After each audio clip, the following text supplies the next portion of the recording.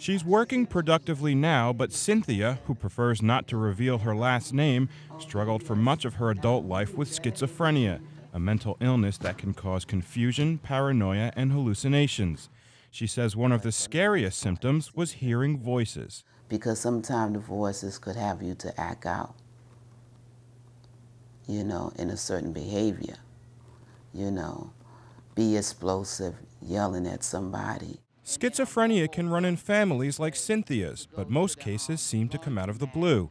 Psychiatrist John McClellan of Seattle Children's Hospital says that's one reason finding a genetic cause of the illness is difficult. He and his colleagues found that people with schizophrenia were three to four times more likely to have rare gene mutations, which tended to be in areas that affect brain development.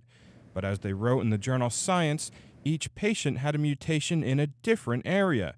So it may turn out that nearly every case of schizophrenia is caused by a distinct genetic change. But McClellan says new treatments may come out of what those genes have in common. If several of those genes work within the same brain system, then treatments can be developed to stabilize that brain system uh, no matter what uh, was the cause of why it was disrupted. Current medications have stabilized Cynthia's illness. She now speaks out publicly to remind us that no matter what causes schizophrenia, it's the person, not the illness, that counts. We may have a mental illness, but it does not define who we are. We are still fun, loving, caring people with a life. Yeah! I'm Brad Kloza.